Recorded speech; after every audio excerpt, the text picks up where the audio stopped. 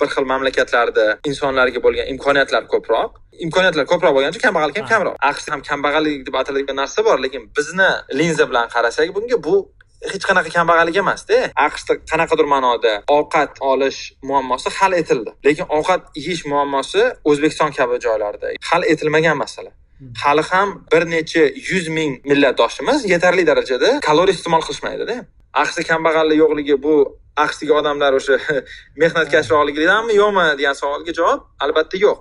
Sizlarni qorningiz och chunki sizlar yaxshi harakat qilmayapsizlar degan narsa e, biologik nuqtai nazardan ham mantiqsizroq. Kambag'allikni bir yomon xususiyatlaridan biri o'zbekcha aytgandaki shu kosasi oqarmaydi kambag'al olgan pulini iste'mol qilishga majbur. Shu uchun jamg'arish imkoniyatlari yo'q. Jamg'arish imkoniyatlari yo'qligi insonlarni e, qanaqadir ma'noda yangi darajadagi pul topish imkoniyatlarini cheklaydi. imkoniyatlarini cheklaydi. Aynan o'zbekistondan sanashadi bu yaxshi odam ellikta odamga xayriya qilgan ikki yuzta odamga uy qurib bergan degan gaplar bor. Lekin agar o'sha yaxshi odam qanaqadir o'yindan tashqari bir imtiyozlar olib iqtisodiyotga ancha ancha kattaroq zarar keltirishi mumkinda. Kambag'allikka qarshi kurashishni asosiy qurollaridan biri bu iqtisodiy o'sishni ta'minlash. Iqtisodiy o'sish imtiyozlar subsidiyalar kattalashgani sari kapitalni band qilgani uchun sekinlashadi. Lekin shunga qaramasdan turib kambag'allikka qarshi kurashish maqsadida bunaqa dasturlar e, davom ettiriladi. Nima sabab deb o'ylaysiz bu narsaga?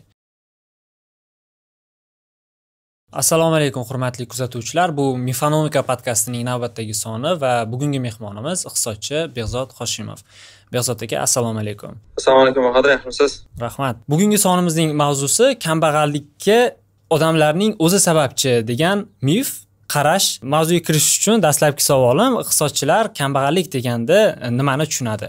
Katta rahmat savol uchun endi bu juda yam keng mavzu. O'shanga qisqaroq atamalarga Э, ta'rif berib ketishga harakat qilaman. Kambag'allik deb ko'pincha hamma oddiy e, sizu biz kabi inson ishlaydigan narsani iqtisodchilar e, nazarda tutishgan bu ham bo'lsa insonni moliyaviy e, resurslari kamligini ya'ni u odamni deylik yoki u odamlarni yoki u jamiyatlarni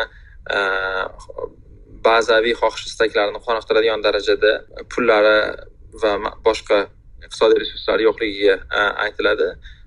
Shuni deylik kambag'allik deb atasak bo'ladi kambag'allikni o'lchashni butun dunyoda qabul qilingan qandaydir metodlari bormi? Ya'ni hamma uchun tegishli bo'lgan yoki har bitta mamlakat uchun jamiyat uchun alohida bo'lishi kerakmi? Hozir bu masala sal chuqurroq va nyuanslari ko'p. Birinchi o'lchovlardan biri qanchadan paytdan beri jahon banki kabi tashkilotlar o'lchab keladigan o'lchovlari? Bu qancha kaloriyani insonlar iste'mol qilishi edi ya'ni bir odam kuniga taxminan ikki ming ikki yuz kaloriya iste'mol qilishi kerak deb tasavvur qilsak uni normal faoliyat olib borish uchun o'sha kaloriyalarni o'sha mamlakatdagi narxi hisoblanadi va o'sha o'sha narx atrofida insonlarda moliyaviy resurslari bo'lmasa u insonlar kambag'al hisoblanishadi.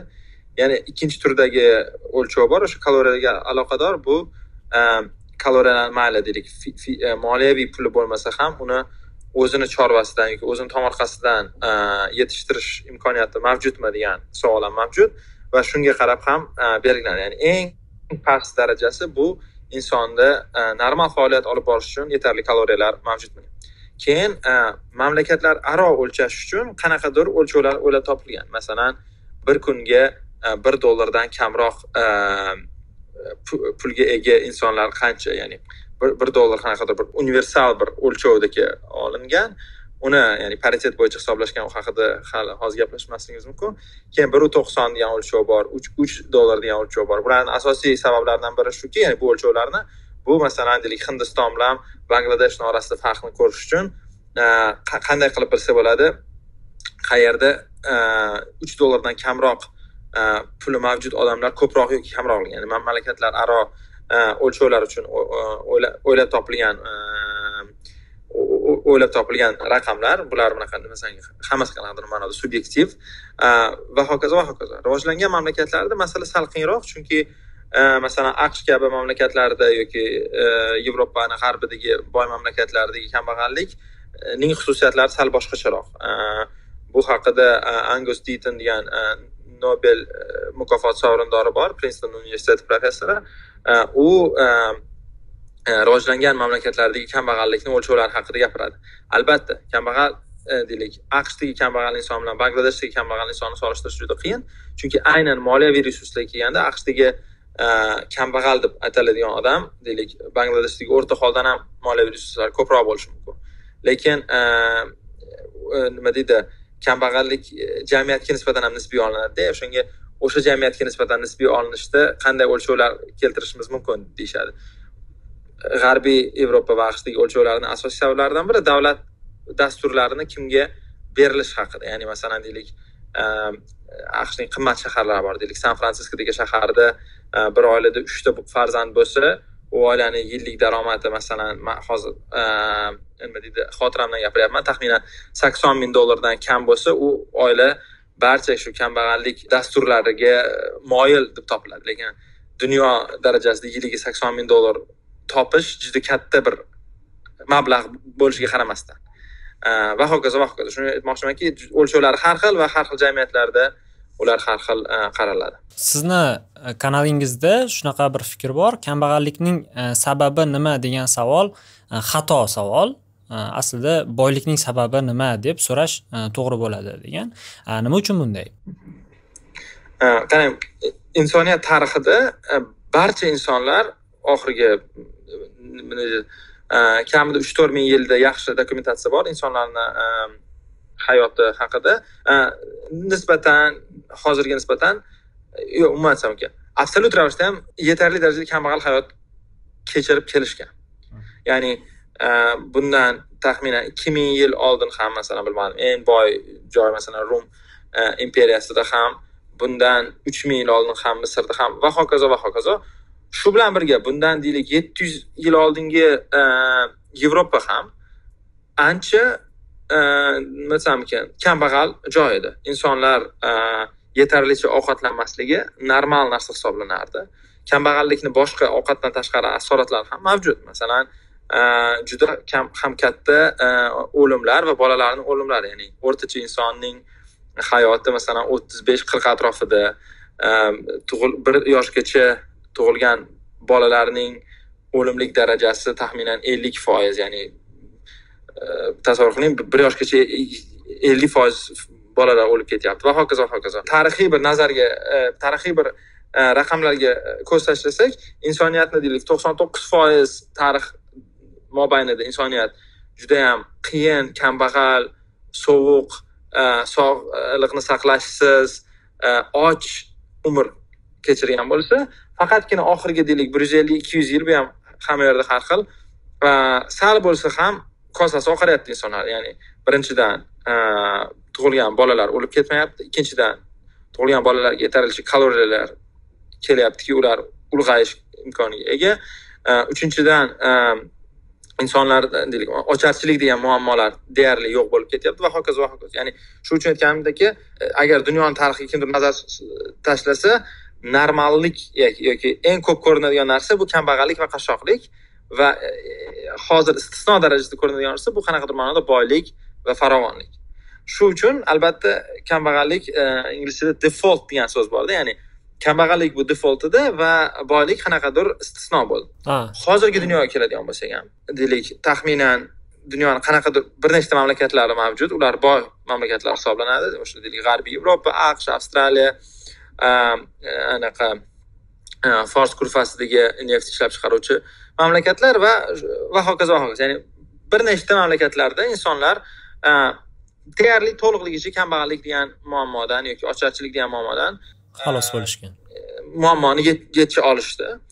Lekin boshqa joylarda albatta qoloqlik kambag'allik kabi narsalar mavjud. Shuning uchun ham agar e, deylik dunyo xaritasiga bundan bir ellik yil oldin qaraydigan bo'lsak o'sha e, xitoy va hindistonda ocharchilik kambag'allik kabi narsalar mavjud edi va hozirga kelib bu narsalar sal pal kamayapti. Shuning uchun e, hozirgi dunyoni kesimida ham insoniyat tarixini kesimida ham qarasak kambag'allik nihoyatda ko'p edi va u e, boya aytgandek normal degan so'z o'zbekistonda o'zbekchada normativ anaqaga egada nima deydi? Ma'noga ega. Ha normativ ma'noga ega. Man normal deyayotganim ya'ni shunday bo'lishi kerak degan ma'noda emas. Shunday edi degan ma'noda so'zni ishlatyapman. Aytmoqchimanki insoniyat tarixida kambag'allik bu e, default edi. Bu, ya'ni inson insonlar kambag'al yashashardi e, shu uchun e, boylik mavjud bo'lishi bir qanaqadir mo'jiza ha boylik anomaliya. Anomaliya ha. Tarixiy anomaliya boylikda agar masalan masalan deylik insoniyat tarixini bilmayman besh ming yil olti ming yil qarasangiz oxirgi bir yuz yetmish yil ikki yuz yilda insonlar kambag'al emas. Albatta bu anomaliya tushunarli. Endi savolni shunga moslab beraman. Bugungi e, ko'rsatuvni asosiy e, savolini. Ya'ni agar e, kambag'allik e, normal bo'lgan bo'lsa va boylik anomaliya anomaliya bo'lsa insonlarning boyib ketmaganiga va kambag'al bo'lib qolayotganiga ularning e, o'zi sababchi xulq atvori sababchi ularning e, bilimsizligi mehnat qilmasligi dangasaligi yoki boshqa boshqa o'ziga bog'liq e, omillar sababchi degan fikrga qanday qaraysiz? Bunday falsafaviy fikrni har xil turdagi jamiyatlarda e, insoniyat tarixida buni ko'rganmiz. Ehm, bu bu fikrni teskari fikri ham mavjud edi. Masalan o'rta asrlarda yevropada e, albatta kambag'al odamlar ko'proq edi boylar juda yam kam edi. Boylar deganda hozir biz bizni standartdagi boylar emas hech kimda konditsioner yoki e, deylik mana bizga o'xshab e, nechadir ming kilometr atrofida aloqa qilish imkoniyatlari yo'q edi. Eng boy shohlarda ham yoki Э, hozirgi deylik doktorda e, e, bor dorilarni ishlatish imkoniyati ham yo'q edida. Eng katta eng shoh va qirollarda ham e, ya'ni hozirgidek o'rtacha yoki kambag'al topiladigan odam ham o'rta asrlardagi eng katta shohlardan ham ancha yaxshiroq hayot kechirmoqda. Lekin shu bilan birga g'arbiy yevropada bir fikr bor ediki boylik bu bir qanaqadir qusur bu yaxshi emas bir moral yoki etik nuqtai nazardan yomon narsa. Va buni bir xillar anaqa diniy anaqa orqali tushuntirishardi ya'ni diniy arboblar o'sha paytda katolik cherkovidagi E, aytishardiki shu boy odam xullas keyingi umrida bir yaxshi e, joyga bormaydi degan bir fikr bor edida ha. Va keyin o'sha yevropani ichidagi qanaqadir nizolar va urushlardan keyin protestant etikasini asosiy g'oyasi shunda bo'ldiki boylik ham qusur emas. Ya'ni boylik ham normal narsa ya'ni boy kambag'al bo'lish insonlarni qanaqadir moral nuqtai nazardan kim ekanligini belgilab bermaydi. Siz aytgan narsa buni teskarisi ya'ni siz aytayotgan narsaki kambag'allik bu qanaqadir moral qusurmikan degan fikrga e, aytyapsiz. Agar shu nuqtai nazardan fikrlasak albatta ikkovi ham xato edi. Ya'niki e, albatta masalan bir xil mamlakatlarda insonlarga bo'lgan imkoniyatlar ko'proq. Imkoniyatlar ko'proq bo'lgani uchun kambag'allik ham kamroq. Masalan hozir men masalan deylik aqshdaman. Aqshdagi kambag'allik boya aytganimizdek bu yerda ham kambag'allik deb ataladigan narsa bor lekin bizni linza bilan qarasak bunga bu hech qanaqa kambag'allik emasda. Ya'ni agar bularni e, o'lchovlarini oladigan bo'lsak bangladeshni o'lchovlarini olib bu yoqqa keladigan bo'lsak yoki e, markaziy afrika respublikasini o'lchovlarini olib keladigan bo'lsak bu hech qanday kambag'allik emas. Bu boylik agar aqsh nuqtai nazaridan qarasak. Demak aqshda qanaqadir ma'noda ovqat olish muammosi hal etildi. Lekin ovqat yeyish muammosi o'zbekiston kabi joylarda yoki markaziy afrika respublikasi kabi joylarda hal etilmagan masala. Hmm. hali ham uh, bir necha yuz ming e, millatdoshimiz yetarli darajada kaloriya iste'mol qilishmaydida. E, shuning uchun e, endi savol tug'iladi. Aqshda kambag'allik yo'qligi bu aqshdagi odamlar o'sha mehnatkashroqligidanmi yo'qmi degan savolga javob albatta yo'q. Albatta inson ko'proq taomlanishi yoki yaxshiroq ovqatlanishi bolalariga yaxshiroq qarashi bu mani endi nima deydi shaxsiy fikrim qanaqadir fitratida bor narsada. Qanaqa ma'nodaki bu yashab qolish uchun ham eng muhim narsa. Ya'ni ovqatlanish eng bazaviy eng bazaviy nima desam ekan xohish e, deb aytasak bo'ladi. Shu eng bazaviy xohishni ustidan ishlamaslikda insonlarni ayblash qiyin. Ya'niki sizlarni qorningiz och chunki sizlar yaxshi harakat qilmayapsizlar degan narsa e, biologik nuqtai nazardan ham mantiqsizroqda. Chunki insonni biologik e, nima desam ekan ehtiyojlari. istaklari ehtiyojlari mavjud va biologik nuqtai nazardan insonlar yashab qolmoqchi bo'lgan mavjudotlarda. Va shu yashab qolmoqchi bo'lgan mavjudotlar albatta kaloriyalarni ko'paytirishga harakat qilishadi. Bor kuchi bilan to'g'ri kaloriyalar kam bo'lsa insonda deylik kuchi g'ayrati kamroqdir energiyasi kamroqdir keyin yana masalan e, kambag'al insonlarda e, yoki pul bilan qiynalayotgan paytda ya'ni boy inson ham pul bilan qiynalayotgan paytida e, kognitiv imkoniyatlar cheklanganroq bo'ladi ya'ni siqilishda stressdada. Shu narsalar ham mavjud albatta lekin nima desam ekan o'zbekistonda kambag'allik mavjudligi yoki e, kongo respublikasida yoki markaziy afrika respublikasida kambag'allarni mavjudligi ular masalan yemenda masalan ocharchilik bo'lyapti afg'onistonda ocharchilik bo'lyapti. Shu kabi joylarda odamlar kambag'alligi bu o'sha yerdagi odamlarni kuch g'ayrati e, deylik e, anaqalari nima deydi xohish boyishga xohishlaklari yo'q deyish albatta mantiqsiz va xato va bu juda ham eski g'oya. Ya'ni aytmoqchimanki bundan ming yil oldin ham gapirishgan bundan ikki ming yil oldin ham gapirishgan yetti yuz yil oldin ham gapirishgan. Qiziq tomoni dunyo rivojlangan sari bu g'oya noto'g'riligi haqida ko'proq dalillar olib olyapmiz. Qanaqa ma'noda olyapmiz? Ko'ryapmizki masalan o'sha nigeriyadan kelgan immigrantlar masalan rivojlangan mamlakatlarda ular o'sha mamlakatdagi eng oldi insonlarga aylanib ketyapti. Albatta seleksiya ham mavjud lekin o'zi umuman olganda shu ya'ni immigratsiya qanaqadir bunga ta'sir ko'rsatyapti. Ikkinchidan masalan qanaqadir ma'noda boylik olishi insonlarni ko'proq mehnat qilishga undashini ko'ryapmiz. Shuning uchun o'ylaymanki albatta bu bu noto'g'ri mavzu va ikkinchi narsa haqida ham gapirishimiz mumkin. Agar masalan hozirgi tadqiqotlar haqida gapiradigan bo'lsak kambag'allikni bir yomon xususiyatlaridan biri o'zbekcha aytgandaki shu kosasi oqarmaydi kambag'al. Qanaqa ma'noda? Olgan pulini iste'mol qilishga majbur chunki kaloriyalar boyagi narsa yetarli emas energiyalar. Shu uchun jamg'arish imkoniyatlari yo'q. Jamg'arish imkoniyatlari yo'qligi insonlarni qanaqadir ma'noda yangi darajadagi pul topish imkoniyatlarini cheklaydi. imkoniyatlarini cheklaydi aynan ya'ni hozirgi gaplaringizdan agar kelib chiqsak ikkita fikr. Birinchisi butun dunyoda insonlar bir xil va ikkinchisi kambag'al insonlarni kambag'allikdan chiqib ketishi va umuman hayotini o'zgartira olish imkoniyati boyroq insonlarga nisbatan kam. Xuddi qandaydir tuzoqqa tushib qolgandek shunaqa desak ham bo'ladi. Hozir ikkita anaqa nyuans borda. Dunyoda hamma insonlar bir xil degan mana nima deydi iqtisodchilarni zo'r gap borda. Hamma modellar xato lekin bir xillari foydali. Ya'ni masalan hozir masalan hamma insonlar bir xil hamma insonlar har xil degan gap ikkovi ham to'g'rida qanaqadir ma'noda. Lekin masalan birinchi yaqinlashtirishda agar bizni hozir bizni diskussiyaga qanaqadir ma'noda aytishimiz mumkin hamma insonlar ko'proq pulni kamroq puldan ko'ra ko'proq yaxshi ko'rishadi desak bo'ladi. Mana mana shu narsada ular bir xil. Ya'ni insonlar ko'proq pulni kamroq puldan ko'ra hamma yerda ko'proq yaxshi ko'rishadi. Mana mana shuni ya'ni o'sha deylik avstraliyadagi inson ham va shimoliy amerikani eng g'arbiy nuqtasi alyaskadagi inson ham ko'proq pul bersangiz u pulni ko'proq yaxshi ko'radi kamroq puldan ko'ra. Mana mana shu narsada kelishib hamma narsasi har xil musiqasi ham yeydigan ovqati ham boshqa ham lekin shu narsada bir xil degan farazda ishlashimiz mumkin. Ikkinchisi boyagi gap e, o'sha insonlarni bir xilligi va harakatchanligi ham ularni mavjud muhitiga ham bog'liqda mana e, ko'p ayniqsa aqshli antropologlar boshqalar e, kambag'allar joylarga borishardida mana shu g'oyani ko'p ishlatishardi qanaqa ishlatishardi aytishardiki mana masalan qanaqadir orolda odamlar kuni bilan deylik o'sha o'zini deylik qanaqa xudolariga cho'qinishadi ozgina baliq tutishadi shu bilan kuni bilan yotishadi. Masalan deylik aqsh shaharlarida odamlar g'ayrat bilan ishlashadi.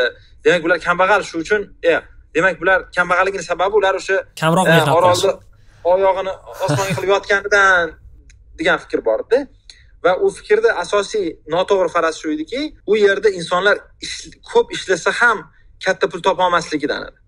Ya'ni aqshda ham agar masalan qarasangiz soatiga qancha ko'p odam dollarda pul olsa shuncha ko'p soat ishlaydi chunki har bir ishlamagan soat qimmatga tushadi agar masalan shu shu qiziq narsa masalan minimal oylik oladigan insonlarni ishlash soatlari juda katta oylik oladigan masalan yuristlarni konsultantlardan ko'ra ancha past.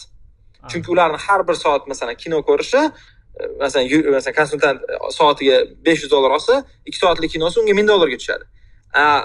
Masalan burger kingda gamburger pishiradigan o'n besh dollar soatiga olsa unga ikki soatlik kino o'ttiz dollarga tushadi. Nisbiy pul bor lekin absolyut pul ham borda.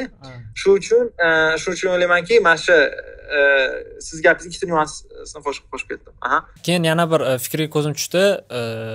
Xayriya kambag'allikni kamaytirmaydi degan fikrga. Nima uchun bunday? Endi xayriya masshtablari haqida gapirsak bo'ladida. Masalan deylik eng eng katta xayriyalar ham agar kishi boshiga bo'lsangiz juda yam kichkina raqamga aylanib qoladida o'zbekchada boru yotib yesa sulaymon tog'ini emib qo'yish mumkin degan gapcha bu ham shunga o'xshagan argumentda. Ya'ni qanaqa ma'nodaki masalan o'ttiz milliard dollaringiz bo'lsa o'ttiz million xalqqa beradigan bo'lsangiz siz qanchadan qanchadan berasiz har bitta insonga? Ming dollar. Endi qarang ming dollarni masalan bir marta berganingizdan keyin u bir marta iste'mol qilinadi va shu bilan tugaydi. Lekin o'ttiz milliard bu o'zbekiston respublikasini byudjetini taxminan ikki yarim uch yillik xarajati. e, yig'indisida. Shuning uchun aytmoqchimanki qariyani e, ya'ni bunaqa katta darajada pulni o'zi mavjud emasda.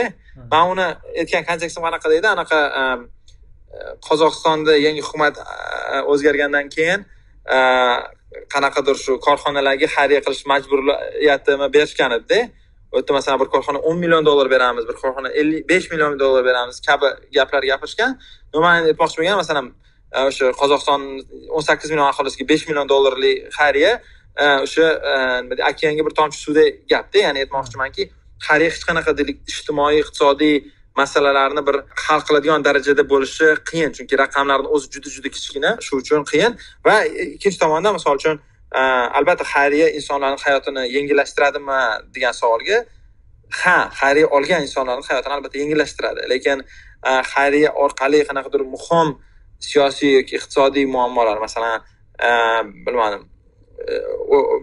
bangladeshdagi kambag'allikni hal qilsa bo'ladimi desangiz katta ehtimol bilan yo'qda chunki sizda buncha ko'p pul baribir ham topilmaydi masalan deylik dunyoda bir milliardta kambag'al odam bor desangiz e, ularga beriladigan pullar e, anaqa astronomik darajada ko'p. Ya'ni bizda insonlarni biz faqat yeydigan og'iz sifatida emas ishlab chiqaradigan e, inson sifatida ham qarasak ularga juda ham klishe eshitiladiyu ularga pul berishga imkoniyat yaratsangiz ancha osonroq bo'ladi va ya'ni xayriyadan ko'ra ancha muhimroq. Shuning uchun manda yana bitta nazariyam bor edi masalan e, o'zbekistonda masalan bu yaxshi odam ellikta odamga xayriya qilgan ikki yuzta odamga uy qurib bergan degan gaplar bor. Lekin agar deylik mm, o'sha yaxshi odam e, qanaqadir siyosiy qarorlarga ta'sir ko'rsatib e, qanaqadir subsidiyalar olib qanaqadir o'yin o'yindan tashqari bir imtiyozlar olib iqtisodiyotga ancha ancha kattaroq zarar keltirishi mumkinda. Shu uchun masalan oddiy e, bojxona subsidiyalarini olish natijasida u qiladigan xayriya ancha anaqa. E, nima deydi? E, hech narsa emas bo'lib qoladi xuddi shunaqa boshqa deylik tashkilotlar haqida ham gapirsak bo'ladi. Demak kambag'allikka insonlarni o'sha moral xususiyatlari ta'sir qilmaydigan bo'lsa demak xulosa qilishimiz mumkinki kambag'allikni o'ziga yarasha siyosiy iqtisodiy fundamental bir ildizlari bor shulardan biri e, bu savdoga to'siqlar hisoblanadi. Savdoga to'siqlar qanday qilib kambag'allarni e, o'z hayotini yaxshilashini to'sib turibdi deb o'ylaysiz? Savdoga to'siqlar kambag'allikni asosiy sababi deyishim sal qiyinmi lekin mana bunaqa sabablardan biri desak bo'ladimi? Ha shunaqa sabablardan biri desak bo'ladi va kambag'alroq insonlarga qimmatroqqa tushadi desak bo'ladi. Ha ya'niki masalan qaysidir mamlakatda savdoga to'siqlar mavjud bo'lsa ayniqsa bizga o'xshagan e, joylarda o'zbekistonga o'xshagan joylarda aytmoqchiman e, o'sha yerdagi ya'ni hamma yoqda ham kambag'alroq insonlar topgan pulini asosiy qismini iste'molga ketkazadi boyroq insonlarda iste'mol juda ham kam e, xarajatlar hisoblanadi. Shunday bir insonlar uchun albatta bojlar ularni byudjetiga kattaroq ta'sir ko'rsatadi. Ya'ni qanaqadir ma'noda masalan siz bir million so'm topib bir million so'mini bozorda shu ovqatga ketqizsangiz va deylik o'sha bojlarni effekti bu yerda masalan yigirma foiz bo'lsa e, sizni oylik daromadingizni yigirma foizi bojlarga ketyapti. Masalan kimdir bir milliard so'm topib turib e, undan yuz millionini e, anaqaga ketqizsa shu iste'molga ketqizsa unda yigirma million lekin uni yigirma millionni bir milliardga bo'lsangiz uni ancha foizi kichkinaroq yigirma foizdan ko'ra. Ya'ni shuni aytmoqchiman ya'ni nisbatan albatta kambag'allarga u qimmatroqqa tushadi. Shuning uchun masalan misol uchun deylik shakarga agar bojlar mavjud bo'lsa ya'ni shakar narxi bozorda bir dollar lekin qanaqadir sabablarga ko'ra bizda bir yarim dollarga sotilsa bojlar hisobiga albatta o'sha o'shaning qimmatligi E, kambag'allarga e, kattaroq ta'sir ko'rsatadi. Endi ikkinchi ma'noda aytadigan bo'lsak bu e, nima desam ekan hamma tovar va xizmatlarni narxi bittada kerakligidan ortiq qimmatligi ya'ni sun'iy ravishda qimmat bo'lib qolganligi. Shu narsa ham odamlarga salbiy ta'sir ko'rsatadi. Ko'pchilik aytishi mumkin masalan yo bizda masalan deylik shakarga boj bor lekin unga boji yo'q deyish mumkin. Lekin ko'pchilik tushunmaydiki ko'p tovarlar bir biriga elastik nuqtai nazardan bog'liq ya'ni kim qaysi tovar qaysi tovarni vaqtinchalik o'rnini bosadi o'rnini bosadi shu uchun bog'liqliklar bog'liqliklar ham mavjudda ya'ni qanaqadir ma'noda sizda deylik o'sha masalan shakar qimmat bo'lsa balki uni iste'moli ham ko'payishi mumkin kamayishi mumkin va hokazo va hokazo ya'ni bu ham trivial masala emas va umumiy muvozanatda qanaqadir kichkina ko'rinadigan boj ham nihoyatda xunuk e, iqtisodiy alomatlarga olib keladi. Lekin e, shu bilan birga insonlar ya'ni o'sha iste'molchilar bu haqida unchalik xabardor emas. Ya'ni ularga e, bu ko'zga ko'rinmaydi bu bunday to'siqlar ya'ni bunday bojlarni mavjudligi ularni kambag'allashtirayotgani qanaqadir ma'noda ko'rinmaydigan narsa. Kambag'allikka qarshi kurashishni asosiy qurollardan biri bu iqtisodiy o'sishni ta'minlash.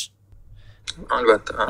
Va iqtisodiy o'sish tushunishim bo'yicha agar imtiyozlar subsidiyalar va boshqa yordam kabi paketlar kattalashgani sari kapitalni band qilgani uchun sekinlashadi shunaqa. Va lekin shunga qaramasdan turib kambag'allikka qarshi kurashish maqsadida bunaqa dasturlar davom ettiriladi. Nima sabab deb o'ylaysiz bu narsaga? Yo'q mana boya gapda mana ko'rinadigan narsa bilan ko'rinmaydigan narsani orasidagi farqda. Masalan qanaqa desam ekan sizga? Boy xayriya haqida gapirdik masalan bir subsidiyalardan boyigan tashkilot milliardlab dollarlab zarar ketkazadi keltiradi o'zbekistonga. Va o'n million dollarga o'nta yetimxona qurib bersa bir million dollardan.